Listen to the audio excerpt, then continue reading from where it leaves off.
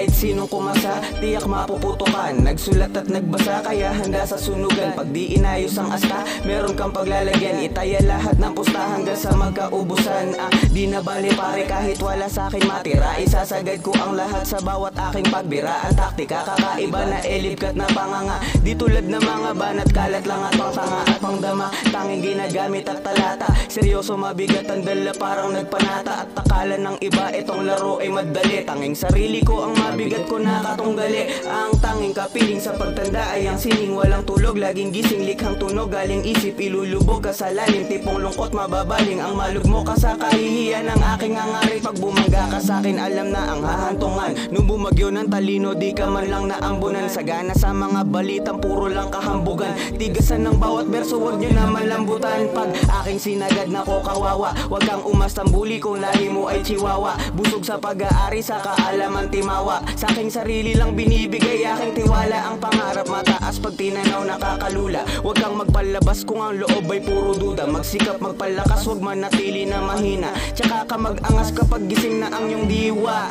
Itong mga pabidang to akin ang sasampigain. May taglay na kapansanan kailanman di nagagaling. Mga utak ay mapurol nagfi-feeling na matalim Pos maliwanag na sa'yong may balak akong maitim Sa gantong bitawan wag magtaka. Sa simple na bagsakan kayang kumatay ng tanga. Wag umasa pa saking ikaw ay makaisa. Magsama ka pa iiwan kayong walang hininga. Kahit sino pang subok iiwanan kong tupok Ang baho ng iyong buga akala ko umuutot. Di ka makakalusot kapag ako na ang nagbantay. Walang awang kukutyain hanggang paamoy magpantay. O pwedeng umaray pagramdam mo na yung sakit. Mas matino pa sa iyong magrap yung tropa kong may saltek Di maintindihan ng banat kaya kala ko incheck. Pag ako ang kaharap parang tinamaan ng lintek. Kung sa akin ikaw ay nayayabangan Sa akin wala lang, ganito lang talaga maglaro ng tugmaan. Hindi ko kasalanan kung ikaw ay tinamaan. Isa lamang kahulugan, wag ka puro katangahan